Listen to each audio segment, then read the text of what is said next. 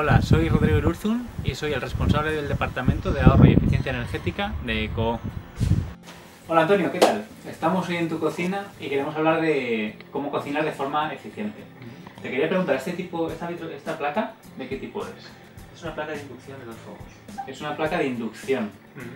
No es vitrocerámica, es de, inducción. Las, placas de inducción sabes que son mucho más eficientes que las de vitrocerámica. Es decir, las de vitrocerámica tienen una eficiencia más o menos del 55% y esto más o menos sabes qué puede, eficiencia puede tener, un 70, un 75, sí, ¿verdad? O sea que gastamos menos energía para calentar, por ejemplo, agua o para cocinar los alimentos. Bueno, aquí vemos que, que tenemos puesto el cazo en un fuego grande. ¿Tú lo sueles poner así? Eh, normalmente procuro poner siempre en el juego más pequeño, mm. eh, aunque ese tipo de, placas de inducción, ¿no? Rodrigo, eh, daría un poco igual, ¿no? Sí, en realidad la placa de inducción funciona por campos magnéticos, de forma que los campos magnéticos se transfieren al, al metal del cacharro, que es lo que hace que se caliente el agua. Entonces no estamos desperdiciando mucha energía. Si fuera una vitrocerámica estaríamos derrochando la energía. Mm. Veríamos todo este círculo rojo y eso significa que todo ese calor se está, eh, se está yendo hacia, hacia el aire en vez de calentar el, cacharro. Si tuviéramos una placa de vitrocerámica es muy importante utilizar el fuego más pequeñito. ¿eh? Utilizar un cacharro siempre un poquito más grande que el fuego, que no se vea la parte roja. Y luego, por ejemplo, también centrarlo bien, o sea, que el cacharro no esté descentrado, centrarlo bien. Y una pregunta, Rodrigo, ¿convendría tapar la cazuela o, es mejor? Por supuesto, siempre, siempre.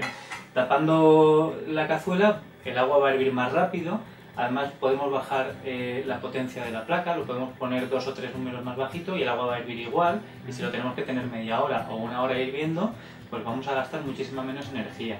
La placa lo que hace es que ese calor del agua se mantiene en la, en la olla, no se está yendo como ahora mismo, que se está yendo hacia el ambiente. Y esto da igual que sea en una vitrocerámica o en una, una placa de inducción o incluso en un fuego de gas. Pasa lo mismo, porque realmente el agua caliente ahora mismo se está, se está yendo hacia el ambiente y tapándolo se mantiene el calor.